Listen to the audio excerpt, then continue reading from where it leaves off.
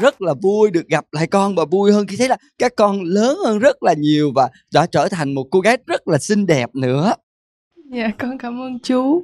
Dạ con xin chào chú Toàn, các cô chú và quý vị khán giả ạ. chú tài muốn hỏi là sau khi mình tham gia ở mùa đầu tiên xong thì thiên nga con quay trở lại với việc học hành của mình như thế nào Dạ sau khi ờ, hoàn thành cuộc thi này thì con vẫn quay lại việc học như bình thường thôi. Con cũng cố gắng học tiếp, con cũng vào thêm trường ờ, nhạc viện nữa. và chú toàn nghe đồn là con khi con thi vào thì con cũng đạt thủ khoa đúng không Dạ đúng rồi. rồi trong thời gian qua thì chú toàn cũng biết là thiên nga cũng làm được một live show nho nhỏ đúng không Dạ đúng rồi. Ờ, con có tổ chức một cái live show. Ờ, live show này là live show thứ hai của con. Con phải nói thiệt. Ờ, con phải nói thiệt rồi. Không phải nói thiệt. Lúc đó là thi học kỳ 2 Thì mẹ con quyết định tổ chức live show Trước khi đi lưu diễn ở châu Âu. Ồ vất vả quá. Con vừa nói chuyến lưu diễn châu âu con đi diễn nước nào? Dạ con đi diễn vòng vòng châu Âu là Cũng ở Pháp, ở Đức, Thụy Sĩ, Hà Lan Rồi rồi con đi diễn vậy con hát những cái bài hát tiếng việt tiếng anh Dạ con uh, chủ yếu là con hát tiếng Việt cho các cô chú Bởi vì là hầu như là các cô chú cũng đều là người Việt Nhưng mà bên cạnh đó con cũng có hát tiếng Pháp luôn Ồ, chúng ta thấy dường như là bước ra khỏi cuộc thi là các bạn có một cái bệ phóng rất là tốt để làm rất nhiều công việc của mình đúng không Nam? Cảm ơn Hoàng Thiên Nga, cô Võ Hạ Trâm.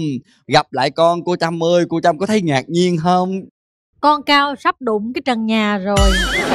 Con nghĩ là mấy năm sau con quay trở lại là con phải ngồi hát con không có được đứng hát bởi vì con đứng hát sẽ làm rất là nhiều người tổn thương. Trong đó có người đàn ông đứng kế bên con. Có nghĩa là cuộc phỏng vấn sau chú Toàn sẽ bắt một cái ghế cho con ngồi và chú Toàn Đúng. vẫn đứng. Rồi, rất là cảm ơn Thiên Nga đã quay trở lại với ờ, ờ, Hãy nghe tôi hát nhí và cô thấy rằng con trưởng thành hơn rất là nhiều. Cái sự điềm đạm, cái sự chững chạc Trong cái cách nói, cách nghĩ, cái cách diễn đạt của con Nó cũng uh, làm cho cô phải bất ngờ Và con rất là xinh đẹp. Uh, Thì chúc cho Thiên Nga là trong bước đường sắp tới của con sẽ gặt hái nhiều thành công hơn và con hãy cố gắng học uh, thật là nhiều trau dồi cho cái niềm đam mê âm nhạc của con bởi vì cô nghĩ là trong tương lai con sẽ tỏa sáng. Dạ con cảm ơn cô rất là nhiều. Chú Nguyên Vũ ở mùa trước cũng đã đến và chấm cho con nè và thậm chí trong đêm chung kết luôn đúng không chú Nguyên Vũ? Đúng vậy. À, chú thấy cháu như thế nào? Thiên Nga con biết không? Chú cảm thấy rất là vui mừng ở những cái thế hệ ờ, rất nhỏ như con mà lại rất là tài năng. Những đứa trẻ khác không phải ai cũng có cái cơ hội để đến với âm nhạc nhiều như con. Và con là minh chứng cho một cái sự là gia đình quan tâm nhiều hơn đến sở thích. Nhưng như đây thì chú hỏi con một điều là con làm những cái điều này học trống, học âm nhạc, học violin hoàn toàn là ý thích của con hay sở thích ba mẹ con?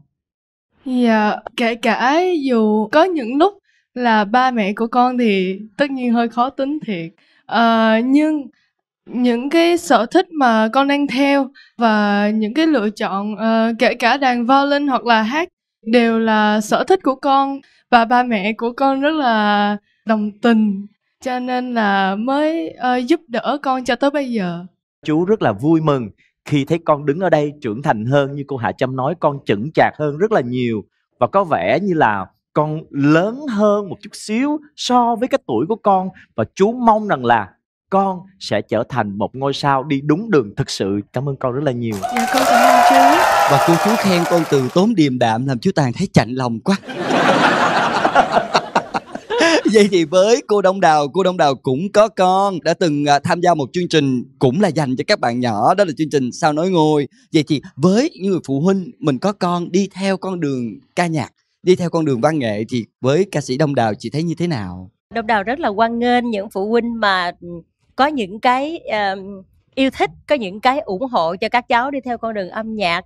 Ví dụ như cháu sau này cháu lớn lên cháu trở thành doanh nhân chẳng hạn thì khi mà trong máu của mình có cái sự yêu thích về âm nhạc thì trong cái công việc của mình cũng vậy mình sẽ xử lý nó năng động hơn, nó sáng tạo hơn là bình thường. Đó là những cái gì người ta đã minh chứng. Cô nãy giờ cô ngồi cô nhìn con cô, cô rất là đắm đuối. Biết sao không? Tại vì con rất là đẹp à, bởi vì cô lại là không có con gái nữa cho nên là cô rất là mê con gái thì con đường âm nhạc nó có nhiều trong gai nhưng mà cô tin rằng là gia đình của con sẽ là cái nền tảng sẽ hỗ trợ cho con giúp cho con đi đúng đường và cho con tỏa sáng. Xin được cảm ơn các cô chú rất là nhiều. Và bây giờ thì trước khi chúng ta chia tay nhau Chú Toàn muốn là à, Hoàng Thiên Nga Con nói một lời động viên các bạn để chuẩn bị bước vào đêm chung kết ở tuần sau. Dạ Thiên Nga thì chúc ờ, các bạn thi thật là thoải mái, tự tin, giữ bình tĩnh và làm tốt phần thi của mình. Cảm ơn Hoàng Thiên Nga rất nhiều Và một lần nữa chúc mừng và cảm ơn con